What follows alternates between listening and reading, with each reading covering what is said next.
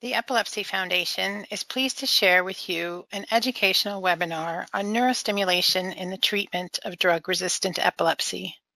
The mission of the Epilepsy Foundation is to lead the fight to overcome the challenges of living with epilepsy and to accelerate therapies to stop seizures, find cures, and save lives.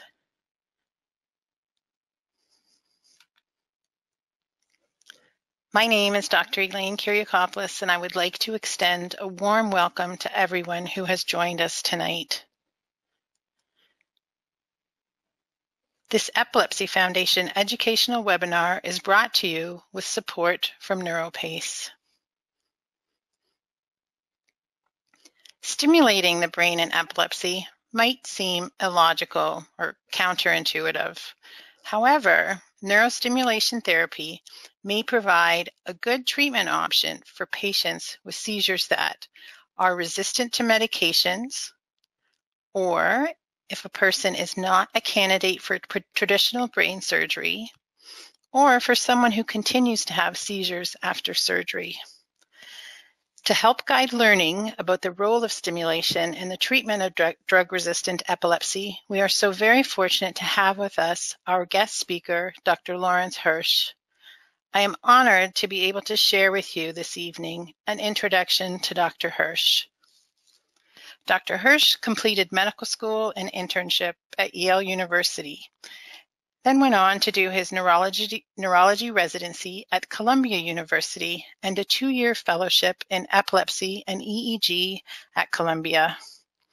He remained at Columbia on the faculty from 1997 through 2011, where he created and directed the continuous EEG monitoring program at New York Presbyterian Hospital Columbia University Medical Center for 10 years and became professor of clinical neurology at Columbia University in 2010.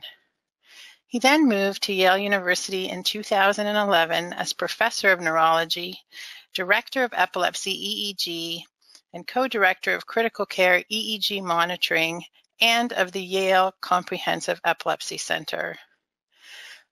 Dr. Hirsch has published more than 140 original research manuscripts and more than 120 invited reviews, editorials, or chapters. His research interests and publications are on topics such as brain monitoring with EEG in the critically ill, status epilepticus, epilepsy surgery, seizure semiology, electrocorticography, brain mapping, effectiveness and tolerability of anti-epileptic drugs, brain stimulation for epilepsy, and sudden death in epilepsy. Dr. Hirsch has directed symposia and lectured at many national and international epilepsy and neurology meetings. He's the founder and former chair of the Critical Care EEG Monitoring Research Consortium, which now includes over 50 centers. He has won multiple teaching awards and is co-author of the first ever Atlas of EEG in Critical Care. Dr. Hirsch, thank you for sharing your time with us this evening. Guest speaker dis disclosures for tonight. Dr. Hirsch has received fees for speaking and running webinars for NeuroPace, the maker of the responsive neurostimulator. We are also fortunate to have with us two webinar panelists who have firsthand experience with neurostimulation therapy. They will be sharing their personal stories around the, how they came to the decision to pursue neurostimulation therapy and the impact it has had on their lives. With us this evening, we have Ms. Marianne Widener joining us from Massachusetts and Ms. Kimberly Bari joining us from California. Thank you both for sharing your time with us. I'd like to review with you the format for tonight's webinar. During the speaker presentations, all phone lines will be muted. We would like to encourage everyone to submit their questions at any time during the webinar. To do so, type your question into the question window on the GoToWebinar panel and click Send. We will then read your questions aloud during the question and answer portion of the webinar. Please keep your questions general in nature as the webinar is intended for educational purposes and does not take the place of individual medical advice. This webinar will be recorded and available for viewing and listening in the future on epilepsy.com. The Epilepsy Foundation is working to provide information and education that serves the spectrum of individuals and families impacted by epilepsy. Often, when you have a question about your health or your loved one's health, you may hear or read things that you are not sure how to interpret. The Foundation's webinar series aims to bring together clinical experts and researchers in the field of epilepsy to share with you up-to-date and accurate information to help answer your questions. At this time, I would like to turn the webinar over to Dr. Hirsch, who will begin our presentation for this evening. Dr. Hirsch, thank you. Thank you, Elaine. It's a pleasure to be here. Appreciate the opportunity and thank you in advance to our two panelists as well. So I will start by talking about some basics about epilepsy, uh, and then we'll move on to drug-resistant epilepsy and the topic for today, which is neurostimulation. So epilepsy is a seizure disorder. It basically means you're predisposed to recurrent seizures. The old definition for many years was that you had to have two or more unprovoked seizures. That means nothing, there was no immediate cause to the seizures. They seemed to happen for no reason. The new definition is to either have two or more seizures or to have one seizure plus a known increased risk of further seizures. So this can be known from an abnormal EEG or abnormal brain imaging, such as with an MRI, and sometimes with some other risk factors or specific epilepsy syndromes. And in general, once someone qualifies as having epilepsy, that warrants treatment, which is virtually always starts with medications. The diagnosis of epilepsy indicates that a person is at risk for recurrent seizures. It does not say anything about the cause or anything about the prognosis and whether it's going to be Uh, rare seizures are easily controlled or one of the more difficult ones. There are many different types of epilepsies, but the two main categories are what are known as focal and generalized. So focal seizures will start in one place on one side of the brain, as opposed to generalized seizures, which seem to start on both sides in very broad areas all at once. So the main treatment for people with epilepsy are anti-seizure medications. They're also known as anti-epileptic drugs or anticonvulsants. And the goal of these medications is to get rid of seizures and to not cause any side effects at all. So no seizures, no side effects. That's the goal of treatment. 60 to 70% of people with epilepsy do have fully controlled seizures. So that's the good news. The bad news is about one third of people 30 to 40% have uncontrolled seizures, so the medicine does not completely get rid of them. And there's a whole spectrum from very uncomplicated epilepsy where there are no other issues other than seizures and they're easily controlled with a single medication, all the way to more severe epilepsies with frequent seizures despite medication and with other comorbidities, side effects, and, and much more difficult aspects to take care of. So the definition of drug-resistant epilepsy is a failure of adequate trials of two appropriate medications. And when this happens, the official guidelines are that uh, someone should be referred to or be seen by a specialist, preferably at an epilepsy center, to make sure the diagnosis is correct, to make sure the treatments are correct, and to pick the best treatment for that patient, whether it's additional medications or some of the other things such as diets, surgeries, or neurostimulation. So the treatment options for people who have drug-resistant epilepsy, as I mentioned, are surgery, neurostimulation, including three different kinds that we'll talk about today, the ketogenic diet, which is a very high-fat diet, and there are some other variants of that as well, investigational medications, or to simply manage triggers. There are some people who only have seizures with certain triggers present. And obviously, if you can just avoid those, that would be the best treatment. So neurostimulation, the topic for today. So neurostimulation is the purposeful modulation of the nervous system's activity using either invasive or non-invasive means. So invasive usually means you need a surgeon involved and non-invasive means you do not. And this refers to electromagnetic approaches. And neuro, the word modulation really means to have any lasting effect on the spontaneous activity of the brain. So some of the more invasive ones that do require surgery are uh, three of them we'll be talking about today. So the vagus nerve stimulator or VNS, responsive neurostimulator or RNS, or deep brain stimulation DBS. The non-invasive ones include transcranial magnetic stimulation and transcranial current stimulation, sometimes called direct current stimulation. Neither of those are approved for epilepsy and they're in fairly early stages of research. But the three invasive ones that we'll be talking about today are all approved by the US Food and Drug Administration. So in general, neurostimulation is what we call a palliative option, means it is not curative in the majority of patients. So there still will be some seizures present. In general, for people who have medication resistant seizures, the ideal treatment is resective surgery, or traditional surgery where a piece of the brain that causes the seizures is actually removed. And the goal of that surgery is actual cure, to not have any seizures at all after that. However, many patients are not candidates for resective surgery or for what's now known as laser ablation. This is another way of destroying the abnormal cells causing seizures in the brain. So rather than cutting them out, you can actually put a thin probe in and heat them using lasers to destroy the abnormal cells. Those are uh, permanent effects on certain parts of the brain. And the goal, again, is to completely get rid of seizures in those cases.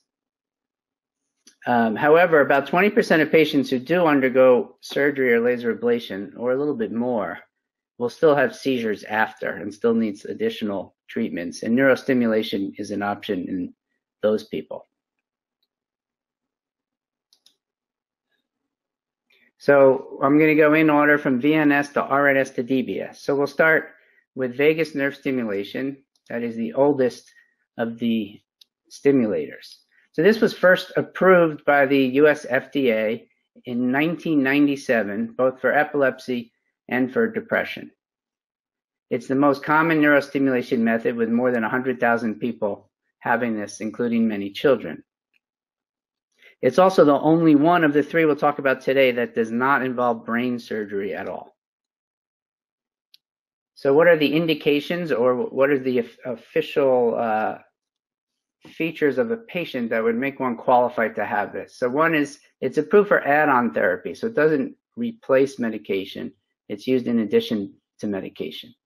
When it's successful, you can offer often lower the other medications, but it's unusual to be able to completely come off. It's approved for patients who are four years of age and older. It's used for focal onset seizures. Another word for that is partial onset that are resistant to anti-seizure medications, but it also works for virtually all types of seizures. Um, it's really only offered when curative surgery is not an option. Again, if you can do the more definitive curative procedure, that's, that should be offered first. Uh, and again, when seizures persist after surgery, the vagus nerve stimulator is a good option. So the goals are to prevent seizures or to shorten them, to make them less intense, or to speed up recovery from the seizure. It has, as I mentioned, been used for all types of epilepsy. It's specifically studied in the focal ones, the generalized ones, and a specific syndrome known as Lennox-Gastaut syndrome. So it's really virtually all types. So this is what it looks like. The, the battery and the computer are placed in the chest wall. And then there are wires that go to a nerve in the neck called the vagus nerve. And the leads are attached to that nerve. Then there are mild pulses of electrical stimulation are given to the vagus nerve. It's programmed to do this in a very regular fashion. Most typical one is 30 seconds of stimulation and then five minutes off, and then another 30 seconds on, and it does that day and night. The new models have uh, some additional features. One is they can respond when the heart rate suddenly increases. That's often a sign that a seizure is occurring, uh, and it will give additional stimulation when that occurs. So that is a responsive component for vagus nerve stimulation in addition to the programmed ongoing scheduled stimulation. In addition, patients get a uh, handheld magnet that they can use to swipe over the device, which will give yet another stimulation. So if they have a, an aura or a warning of a seizure, or if somebody around them sees a seizure starting, they can swipe the magnet and give an additional stimulation. As far as side effects and risks, the most common side effect by far is hoarseness. So some change in the quality of the voice. Uh, and that's usually related to how strong the stimulation is. So if it's too severe, it can be adjusted to decrease that. Um, other ones are sore throat, coughing, shortness of breath, usually when it's very early in the treatment or when it's turned up too quickly. And those can be modified if it's a problem. Um, the, the main risks of doing it are infection. So you certainly can with anything, whenever anything is implanted in the body, there's a risk of infection. There's also some risk of bleeding, of injury to the vagus nerve, or the parts of the device can malfunction. There have been some advances in the vagus nerve stimulator technology. The, the oldest one uh, would just give the continuous stimulation without the responsive component at all that I mentioned. But the newer ones have this heart rate trigger that uh, adds an additional feature. And you can still use the magnet to provide extra stimulation with that as well. Then there's a very new model that just came out, um, which allows you to adjust stimulation at different times of the day or night, and also allows programming changes to be done remotely without having to go to the doctor's office. With the prior models, it could only be done in the doctor's office. So this way, it could be programmed to slowly go up over many weeks and have that happen automatically at home without coming back to the office.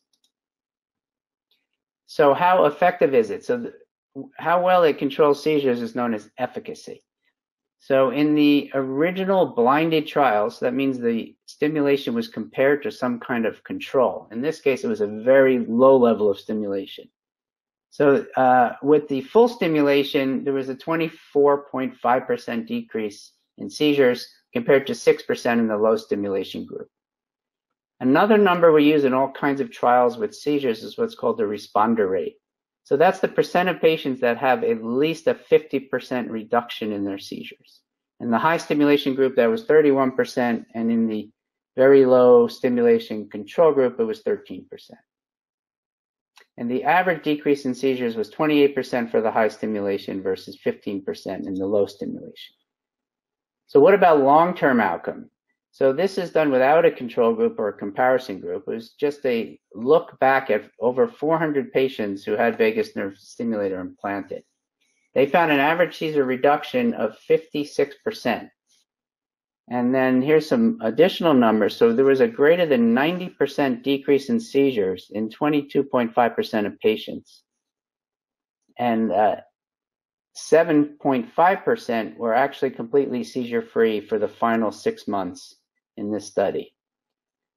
There were no major predictors of who was going to respond to this and who wasn't. As far as adverse effects, there was some permanent injury to the vagus nerve in 2.8% of patients, and usually that just causes some change in the voice, mild hoarseness.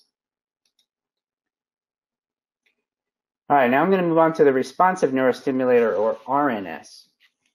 So this is a, a little different in that it's a device that is implanted in the skull.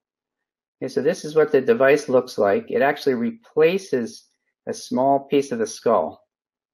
And then you can put two different electrodes, attach it to this device, and that goes either into the brain surface or on the, I'm sorry, into the brain itself or on the surface of the brain.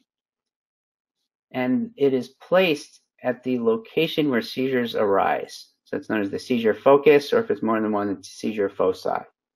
So in this one, you have to know where the seizures come from. And this is what's known as a responsive device. I'll tell you a little bit more about that, but that means it reads the brain waves, known as EEG activity, and it waits until it sees a seizure trying to start. And then it will responsively stimulate, give a little shock to prevent the seizure from spreading. And all that, when it's working, all that happens without the patient feeling anything or having any idea anything's going on in their head. So this is the first and only device that is currently available that monitors and responds to brain activity. It was approved for use in 2013 and also as add-on therapy to medications. It's only approved for adults at this point. Uh, in people who are diagnosed with drug-resistant epilepsy, in those who have focal onset seizures that begin in one or two areas of the brain, the most common reason to do it are people who have what's known as bitemporal epilepsy. That means seizures come from both of the temporal lobes. And also, if seizures come from a seizure focus that is in an area of the brain that cannot be removed or ablated with a laser. So in other words, if it's in an area that's too important, so either it's related to language or movement, vision, uh, any one of those would be an area that we cannot remove without causing a problem, then they'd be a good candidate for responsive neurostimulation. The neurostimulator is placed in the bone, as I mentioned, in the skull itself. It's a, and then you put the leads into the area where seizures come from. Once the device is placed, there is really no evidence looking at that patient that they had surgery. So there's no, there are no scars um, because it's under the hairline. So cosmetically, it's very attractive to patients. Uh, and then very small pulse of stimulation are given when these abnormal brainwave patterns are seen. People cannot feel the stimulation in general. If they do, you can adjust it so they do not. Um, and the stimulation itself does not cause any permanent effects. The device can also be removed if it's not helping the person.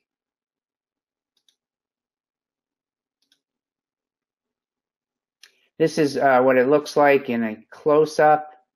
Um, and here is the laptop that the patient takes home themselves.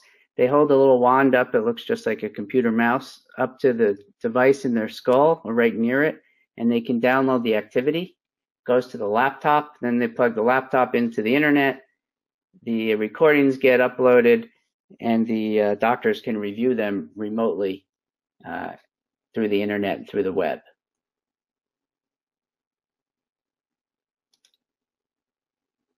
Here's just another diagram of the device itself and an x-ray of somebody after having the device implanted. Um, so here's an example of the kind of recordings we get from it. And what this shows is seizure activity starting where it says seizure onset.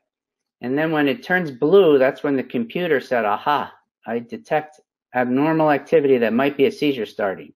Then the device gives a treatment, that's the TR, followed by uh, a stimulation that's usually just a fraction of a second. And in this case, it was successful and that seizure activity goes away. So how effective is this? So the pivotal study that led to approval of this device included 191 people and they were divided into two groups. Everyone got the device implanted, but for the first five months or so, one group received stimulation and the other received sham stimulation where actually the device was off and that was the control group. Uh, this is a little bit about the patients who were in the study. They had epilepsy for an average of 20 years. A third of them already tried the vagus nerve stimulator. A third already had epilepsy surgery. They averaged 10 seizures per month.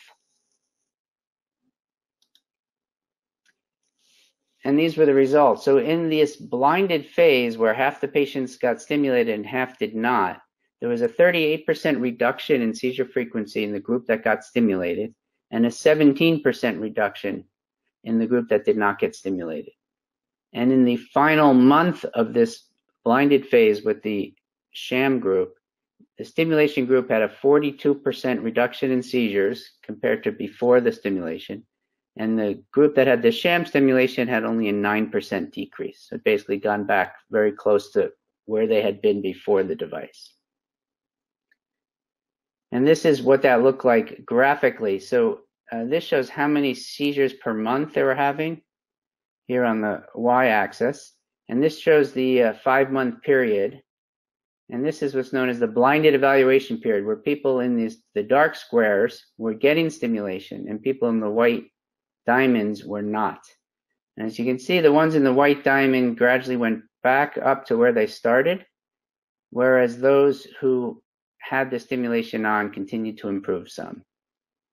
And you can also see that in both groups, right after getting the device implanted, they had a significant improvement. So that's at the one month mark, and that's known as the implant effect. And that's that's seen with deep brain stimulation and responsive neurostimulation, where just implanting the device seems to have some benefit.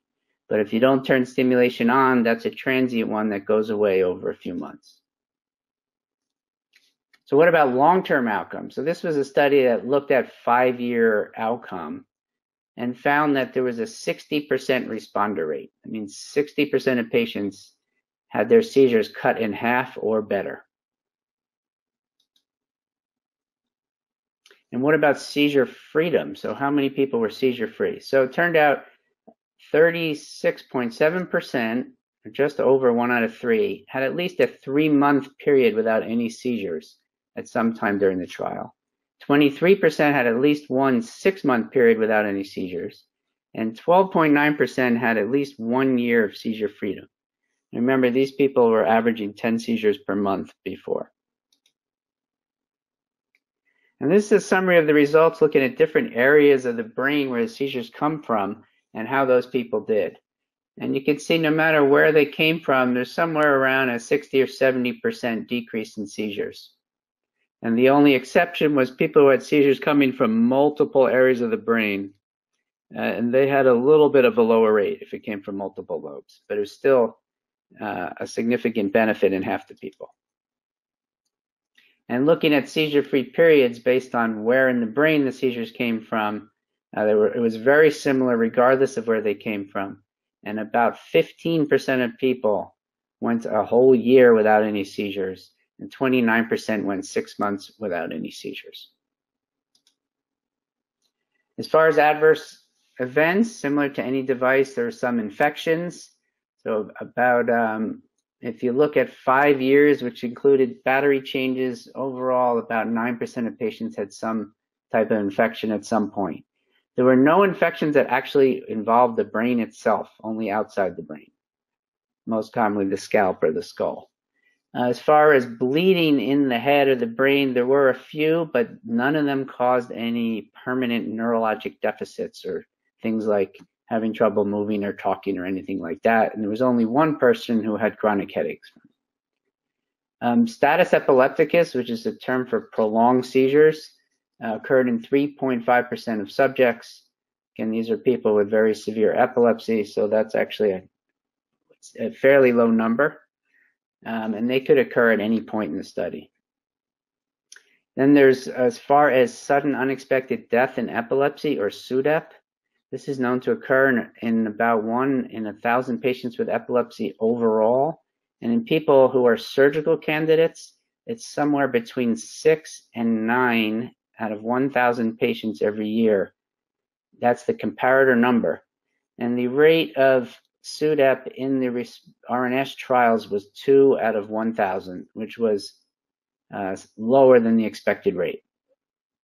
And the improvement is probably just by improving seizures, since we know the biggest risk factor for the sudden death and epilepsy are uncontrolled convulsive seizures. There have been some neuropsychological outcomes. So this is formal cognitive testing and with responsive neurostimulator, and there's been no decline in any measure. There's been improvement in naming and verbal learning and significant improvements in quality of life. And the majority of people choose to replace the RNS battery, even though it does require surgery. It's not brain surgery, but it is scalp and skull surgery. So there are some other advantage of the responsive neurostimulator in, in that it gives you very valuable information from recordings of the brain activity. So if people who have the bitemporal seizures, seizures coming from both sides, it can really help figure out which side is more active and is causing more of the seizures. In addition, it's been very useful for seeing when pe people have had seizures and counting them. So a lot of patients are not aware of all their seizures. They're only aware of some of them. And some patients are not aware of any of their seizures. And this gives a real objective count of how many seizures people are having. Uh, there have been several patients who've gone on to have resective or curative surgery based on the recordings from their RNS device. So, for example, someone who was thought to have seizures from both temporal lobes, but when back on medications and in their usual environment, they turned out they only had seizures from one side, and then that was able to re be removed surgically. Uh, we've also learned a lot of things about different patterns of what time seizures occur uh, it turns out almost everybody has some kind of circadian pattern. That means certain times of the day they're more likely to have seizures. There's also um, catamenial patterns. That means it relates to menstrual cycles. And then there's turns very interestingly, it turns out almost everyone has these cycles that are somewhere around three weeks long. And this is men and women. Uh, the, and some of them are very strong cycles where every three weeks or so they're much more likely to have seizures and this can be very useful for adjusting medications or predicting seizures. Um, there's some evidence that it can tell you whether a drug is going to work or not very early based on the recordings and how much abnormal activity is seen in the brain after a new drug is tried. Um, but that's still in early stages of research. And in some patients, you can use the device as a seizure warning. As it sees lots of abnormal activity, you can set it to stimulate the patient in a sense that they can actually feel it and give them a warning that they're more likely to have seizures. That's also still in the research phases, and the device is not approved for any of those uh, last uses, those last few bullets that I just discussed. So what about deep brain stimulation? This is the most recently approved one. In fact, it was uh, just approved a couple months ago in the United States. So it's been available as a treatment for Parkinson's disease for a couple of decades. However, that's in a slightly different place in the brain. Uh, so there's a lot of experience with placing these, and we know a lot about the safety and the surgical techniques. Uh, but it's uh, only recently, as I mentioned, approved for epilepsy in a slightly different target in the brain. It's actually put in what's known as the anterior nucleus of the thalamus.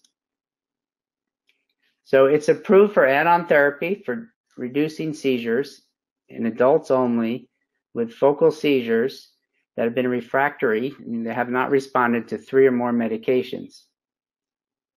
And it's only been proven to be safe and effective in those who average six or more seizures per month, because that's how that's who was studied in the trials. So uh, a surgeon places the device. It's two probes that go deep into the thalamus, one on each side. I'll show you some pictures in a minute. And then it's programmed to stimulate really very similar to the vagus nerve, where it stimulates for, little, for 30 seconds or so and then is off for several minutes. And this does not is not a responsive device, and it does not read the uh, brain waves. It's just scheduled to stimulate. And as I mentioned, it's already been used to treat many other conditions, mostly Parkinson's, but also some other conditions. Um, so this is what it looks like. The device itself is put in the chest wall, similar to the vagus nerve stimulator.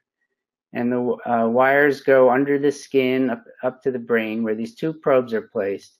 And they're placed into deep in the brain into the thalamus.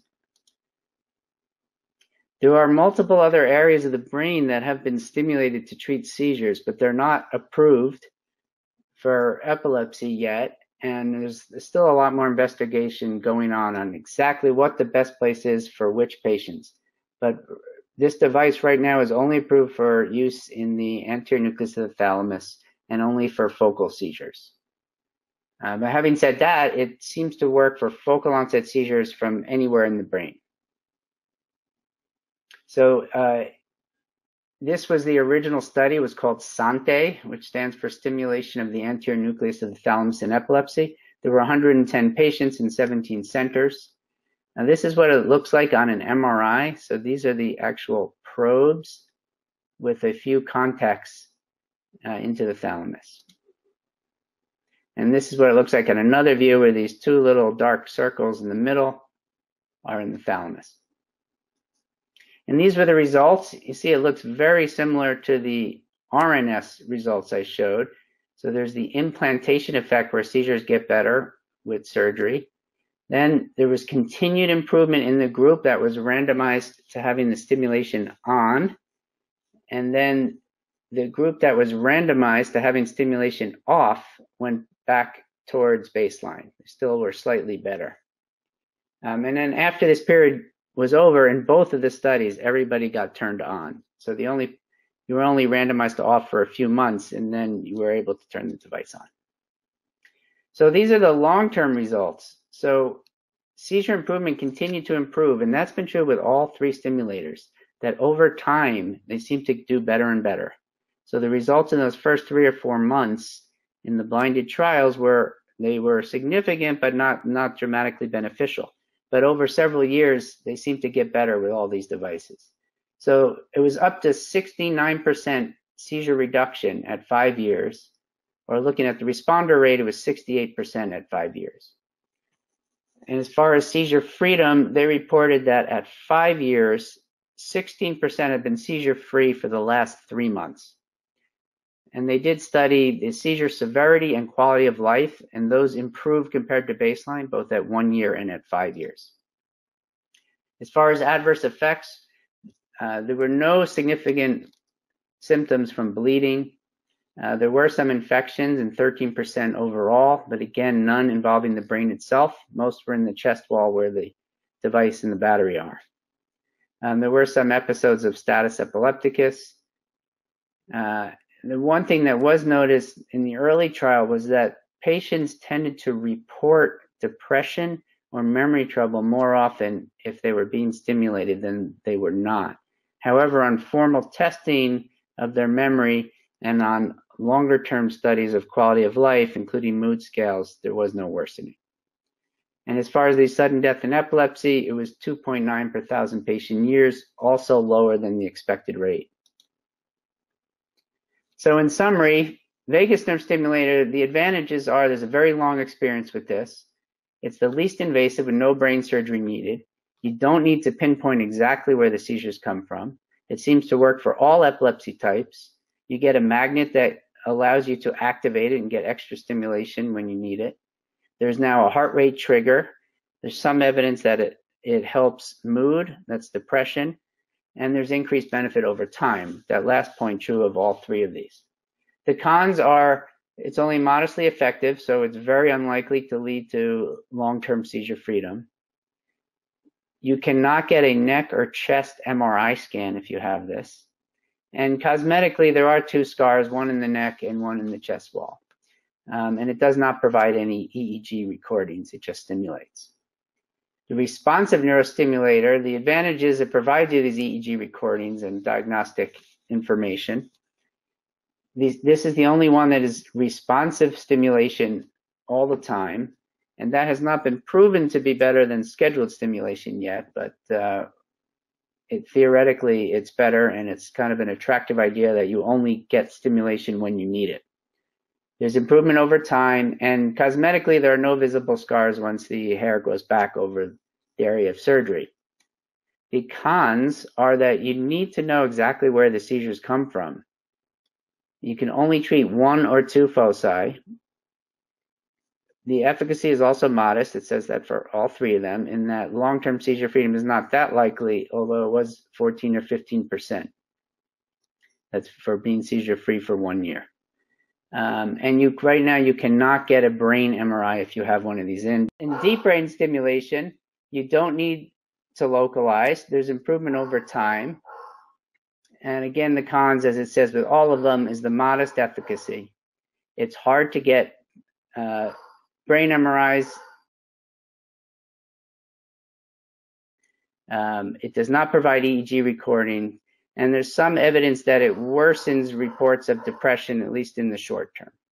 So the ideal patient for deep brain stimulation is a multifocal not well localized, but no history of depression. So that's kind of a uh, rapid tour of the three types of neurostimulators that we have available now. And with that, I will turn it back over to Elaine. Thank you. Thank you, Dr. Hirsch, um, for that wonderful um, comprehensive review of VNS, RNS, um, and DBS treatment options. At this time, um, I would like to share with all of you uh, Ms. Marianne Widener, who is a nurse, a wife, a mom, and a new grandmother. Um, I hope it's okay to share that, Marianne. I know it's a, a wonderful, jo- a wonderful joy in your life. Um, and she will share with us her epilepsy journey leading to VNS therapy and the impact VNS has had in her life. Marianne, thank you for being here this evening um, and sharing your experience with us. Oh, it's my pleasure. Good evening, everyone. My name is Mary Ann, and I am currently 56 years old and was diagnosed with epilepsy at age 31. At the time, I had been through nursing school, was married, had three, two children. I had my first seizure, a generalized tonic-clonic seizure, in front of my five-year-old daughter. After the first seizure happened, I sought the care of a neurologist who diagnosed me with epilepsy and began medical treatment to control my seizures. My seizures were very well controlled with medication for the first five years. I had gotten a dream job as a visiting nurse and on the evening of January 2nd, 1998, came home after seeing a patient and had another generalized tonic-clonic seizure in front of my family. I was sent by ambulance to the local ER. At the time, I remember thinking, things will go back to normal after my neurologist made a, a medication adjustment, but unfortunately, things became a nightmare. I went from being a mother, wife, and caregiver to suddenly feeling out of control as I was experiencing frequent breakthrough seizures. After this second seizure, I had to go undergo several trials of medication and multiple tests to try to sort out why I was not regaining control of my seizures. I was I was having a tough time with seizures causing me to have difficulty speaking and remembering I felt like I was losing entire days. During the worst times, my husband even had to help with feeding me. I remember that it was my father that saw a story about vagal nerve stimulation in the newspaper, and he shared it with me. I discussed this possibility with my doctor and nurse, and they made the decision to pursue VNS as a treatment option. My first surgery to implant the VNS was done in March 2001. Physically, going through the operation, I recall the incision in my neck and the incision over the device in my chest being sore, but only for a few days. When the VNS was first turned on, I felt some strain in my voice at first, but it improved really quickly, and I and my family, we've gotten used to it. Since it was first implanted, I have had to have the VNS device battery replaced two times, once in 2010 and the other in 2016. Now, I always have a magnet on my wrist to, so that my VNS treatment is accessible. We also keep magnets around the house and everyone knows how to use them. My son was nine years old when this was put in and he even knew how to use it.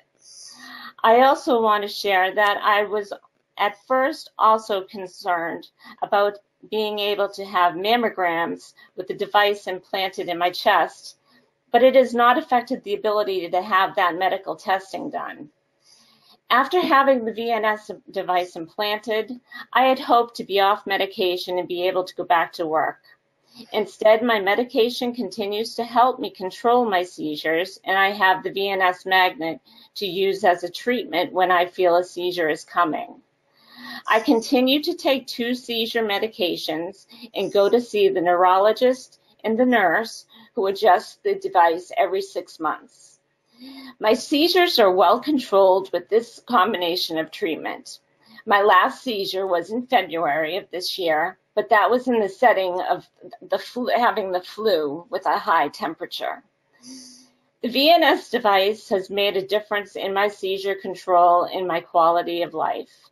I am fortunate in that I have an aura be before my seizures, which gives me time to get myself positioned safely on the floor and swipe my magnet over the VNS device to help stop a seizure from happening. Before my VNS was implanted, when I was having frequent seizures, I did not feel confident to take a walk outside or be on my own. I now feel confident and can do things like walk my dog in the neighborhood or shop alone in a mall or a grocery store. I am even able to help care for my grandson, which is one of my greatest joys. The VNS made a difference for me and my family. I have had some breakthrough seizures in the in the 17 years since it was implanted, but it significantly reduced the frequency of my seizures and has given me a way to be able to respond to my auras when they happen.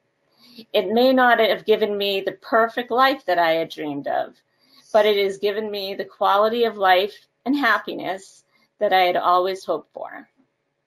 Thank you. Thank you, Marianne, um, for sharing your experience with VNS therapy. Your personal account demonstrates uh, for everyone how for some patients, uh, neurostimulation can provide reassurance and help to improve their day-to-day -day quality of life. We really appreciate you being here this evening. I just really hope it helps someone else. Thank you so much. Next, we will hear from Ms. Kimberly Bari. I would like to share that Ms. Bari is our colleague and a member of the team at the Epilepsy Foundation of Northern California. Ms. Bari also serves as a volunteer ambassador for NeuroPace, sharing her RNS story and providing support for patients and family. Kimberly, can I turn it over to you now? Absolutely. Good evening, everyone. I've been living with epilepsy for eight years. I began having focal aware and focal impaired seizures while I was living abroad, returned to the States, and was diagnosed in 2011. Since then, I've uh, I've had two brain resection surgeries along with an RNS system implant with my temporal lobe. Although my doctor agreed on the resection of three areas of my brain, there was concern that resecting the fourth area could affect my cognition and linguistic ability. That said, my epileptologist suggested implanting the RNS system, and after my family helped me understand the basics, I was ready to, to move forward. In May 2017, I was awake for the second resection surgery and then put to sleep for the RNS system implant. It's taken time for me to heal from the resection, but I can't say that I've had any issues with the RNS system itself. I don't feel it. I haven't experienced any pain from it, and I'm happy to say that I now consider my doctor's appointments to be more like learning sessions. My follow-up appointments are about every three months, and this is when adjustments are made. My epileptologist shares and discusses the data with me. He explains the possible adjustments, and as a patient, it's up to me to decide what I feel most, most comfortable with. I now consider myself a part of the seizure control team. I'm so grateful that I'm no longer dealing with epilepsy alone, and this has given me immense positivity. Although I still experience focal aware seizures, they continue to become less frequent and less severe. When a seizure begins, I do my best to swipe the magnet across my scalp and time the episode. After it ends, I sign into myseizure.com and log what I felt. I appreciate that my doctors can view this as well. Overall, I'm regaining self-confidence as I know that there are many additional adjustment options to try over time. Finally, as a program coordinator at the Epilepsy Foundation of Northern California, it's truly my goal to provide awareness and support within the community. So many thanks for having me this evening, and I'm wishing the best to you all. Thank you, Kimberly, for sharing your experience with responsive neurostimulation. Your willingness to help others understand RNS therapy by relating the impact it has made in your life is so very appreciated. We hope tonight's webinar provided you with a better understanding of neurostimulation and the treatment of drug-resistant epilepsy. If you or someone you know is living with seizures that are not well controlled, we want to encourage you to find support in those closest to you and begin your journey to finding the best possible care for your epilepsy. Taking the time to explore all available treatment options with your epilepsy care team will bring you the best chance for achieving seizure control, lessening the risks seizures can bring, and improving your health and quality of life. To learn more about the evaluation of drug-resistant epilepsy, speak with your physician or nurse.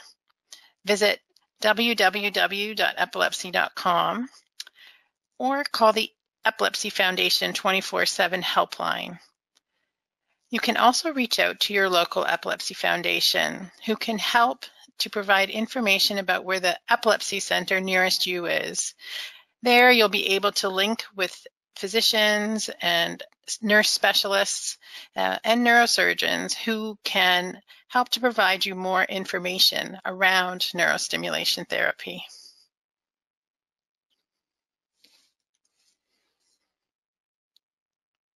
At this time, I would like to again thank Dr. Hirsch for sharing his time and his expertise with us this evening, and thank Ms. Marianne Weiner and Ms. Kimberly Barry for sharing their personal journeys with us. I would also like to thank all of you who have joined us for an evening of learning.